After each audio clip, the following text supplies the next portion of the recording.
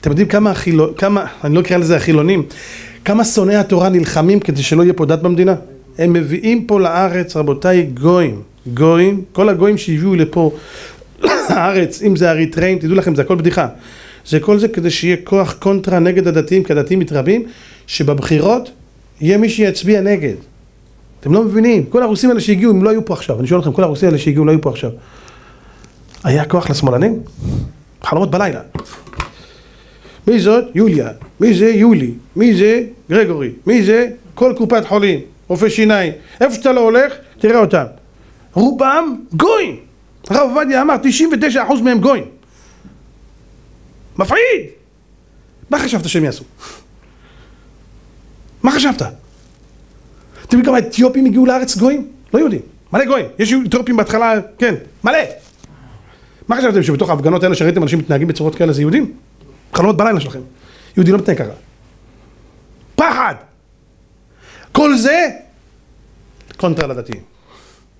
שלא יהיה פה מדינת הלכה.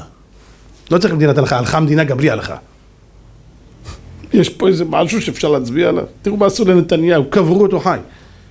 שם... יש לו תיקים. רבותיי, היום אין שר בלי תיק. אם מחפשים מישהו, אם ישימו עכשיו עין על כל אחד בממשלה, כולם צריך לסגור אותם בגניזה. כולם. רק מה? השאלה, את מי מחליטים ל... לרדת עליו.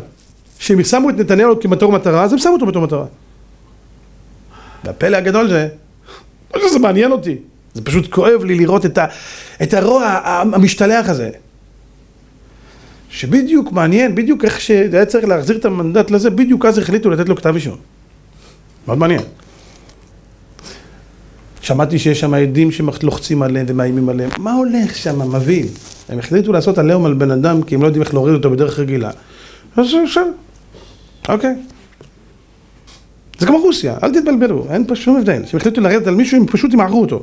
לא יעזור לאף אחד שום דבר. הם החליטו שהוא צריך ללכת, אז הוא ילך. אז כשאין תורה, מה אתה מצפה שיקרה? מה אתה מצפה שיקרה?